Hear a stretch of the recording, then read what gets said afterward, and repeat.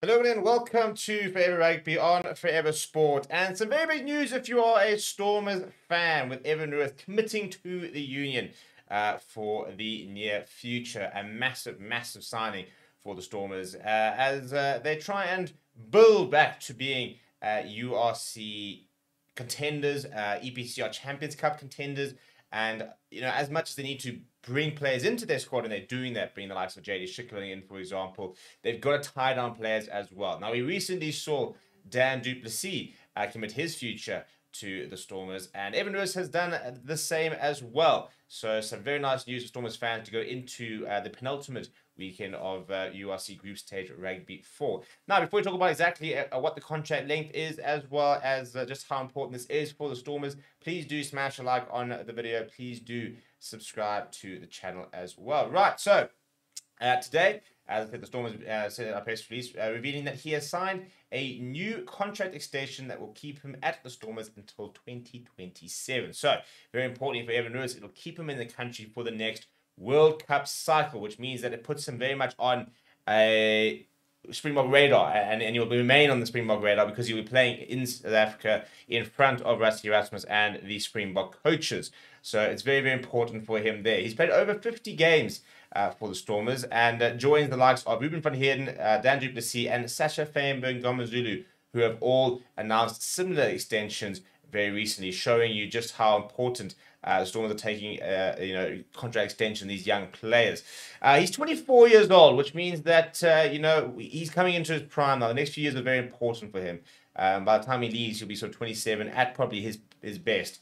And uh, we're talking about a player that won, you know, player of the season for the URC back in the first season, but maybe since then hasn't quite had the same impact. Um, he's had some very good, strong games. Um, he's had a pretty good season so far this season, but hasn't been, you know, smashing the door down like he was back in that season a few years ago. So I do think this is the right environment for him to to commit to, especially with rumours that Hacjivah Dayimani is set to depart the Stormers. So very important to keep somebody like an Evan Roos. Um, and I really hope in the next three years we do start to see the best of him. I think by virtue of being part of the alignment camps, you know, Rassie Erasmus and the Bok coaching staff will be giving him feedback with regards to what he needs to work on and um, you know what what is maybe preventing him or prevented him from being part of the World Cup plans. And now he's got a contract the Stormers. He'll have you know message from from the coaches from the Boks, and he'll be able to work with the Stormers in the next few years and, and get himself into that sort of uh, national mix. So speaking about it, uh, Stormers director of rugby, not just head coach John Dobson, said the following. He said Evan has been simply sensational since joining us three years ago, and at just 24, there's still plenty more to come from him in a DHL Stormers jersey. He brings physicality, pace, and most of all, a fantastic attitude to everything he does. And we look forward to watching him continue to grow in our system. Uh, these extensions and a few more that will be announced soon show that the key players in the squad are committed to our vision and have bought in to build something special over the next few years, which is very exciting. Uh, that in itself is obviously very good news for Stormers fans. He's very interested to see uh, which players are, uh, um, are, have signed on. Obviously, Steven Kitshoff's coming back. You know, Jay Schickerling's coming back. You know, are they replacing certain players who potentially might be moving on? Um, and uh, or and, and which players, for example, are continuing to, to sort of back uh, the the Stormers and, and keeping themselves down in uh, the Cape. Uh, speaking about the contract extension himself, Evan Roos said as follows: He said, "My rugby career has transformed."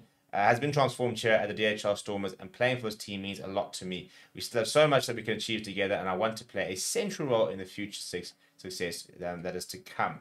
Uh, he is Paarl Boys High, so obviously from uh, born and bred down in the Cape, and that's where I wanted to make the move from the Sharks back to the Stormers, where he has um, become such an important player.